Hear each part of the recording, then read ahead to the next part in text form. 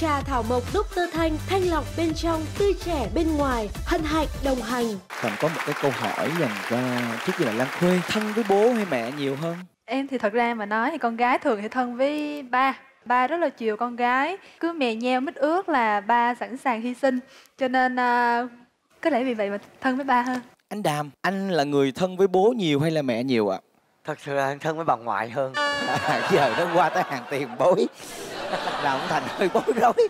Dạ dạ cho hỏi vì sao ạ? Cả một cái tuổi thơ của hưng ở bà ngoại nhiều. À bố mẹ làm xa rồi kinh doanh nhiều thứ.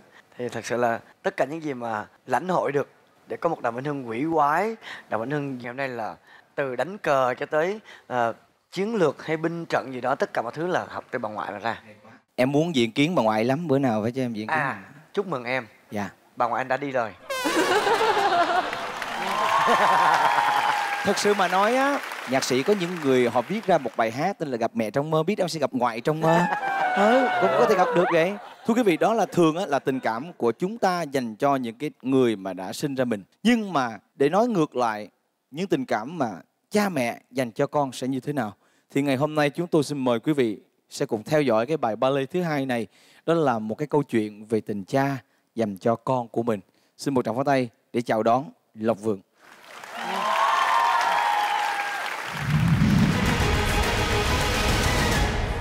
Ballet là cái thể loại khó nhất, phải tập đến 10 năm hoặc thậm chí là hơn thế nữa thì may ra mới đủ kỹ thuật. Trong khi đó thì bọn mình chỉ có nửa tuần thôi. Mình là quá chú trọng đến việc giảm cân và quên đi cái việc xây dựng cơ bắp. Vì thế mà bưng bê bạn nhảy lại trở thành một cái trở ngại rất là lớn. Mỗi lần bê một phát mình cảm giác là tay chân của mình cứ như là run lẩy bẩy lên. Phải chú trọng hơn những cái bài tập về à, cơ bắp để làm sao mà bưng bê được bạn nhảy một cách dễ dàng nhất. There was a time I used to look into my father's eyes. In a happy home, I was a king, I had a golden throne. But those days are gone, now the memories on the wall. I hear the songs from places where I was born. Upon the hill across the blue lake. That's where I had my first heartbreak. I still remember how it all changed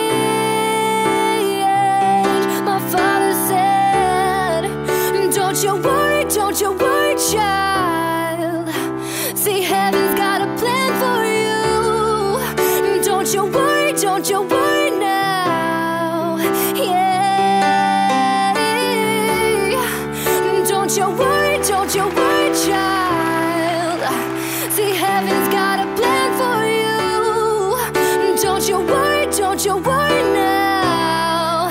Yeah.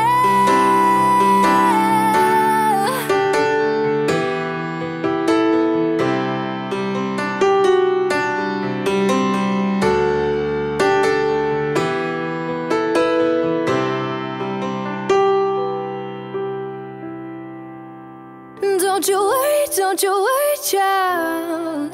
Yeah.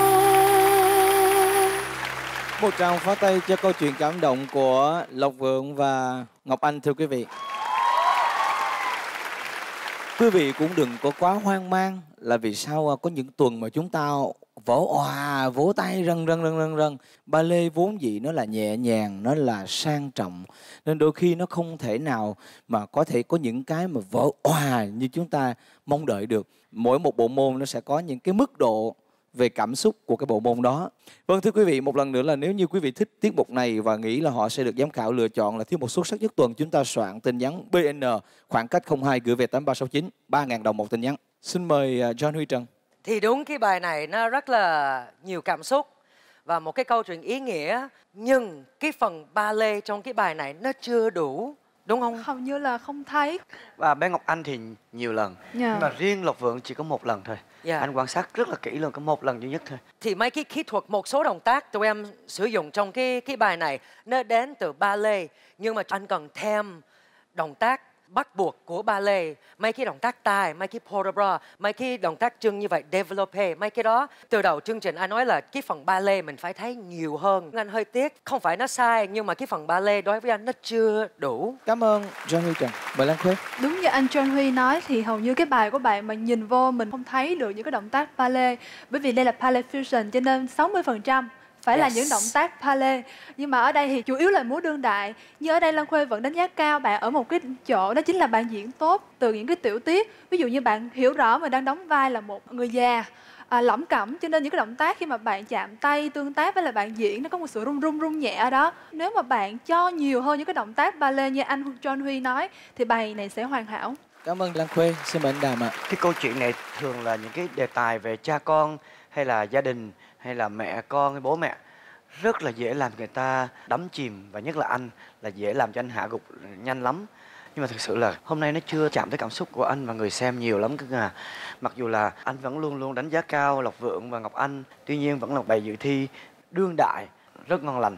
Nó chỉ lệch cái chủ đề tí xíu thôi. Cảm ơn em. Vâng thưa quý vị, để nói về chất lượng của một đêm diễn thì dĩ nhiên chất luôn luôn là bất biến vì uh, họ đã luyện tập tới một mức độ nào đó thì khả năng họ nằm đến đó. Nhưng lượng có thay đổi trong tuần này là vì phải có hai bài nhảy chứ không phải là một. Vì vậy đúng rồi thì quý vị cũng đừng có quá hoang mang. Dĩ nhiên là chúng ta sẽ theo dõi họ với một cách nhìn mới, bao dung hơn và nhẹ nhàng hơn. Mời điểm số từ ban giám khảo. Xin mời John. còn một bài nữa nha thì đây chỉ là bài đầu tiên 7 điểm. Mời Lan Khuê. 7 điểm. Mời anh Đàm. Cũng 7 điểm. Chúc mừng hai bạn. Tôi nghĩ đây là sự khởi đầu, đúng không? Chúng ta còn một bài nữa, cố gắng hơn ở bài đầu cuộc các bạn nhé. Hãy cổ vũ tinh thần cho họ thưa quý vị. Cảm ơn hai bạn. Trà thảo mộc Dr. Thanh thanh lọc bên trong, tươi trẻ bên ngoài, hân hạnh đồng hành.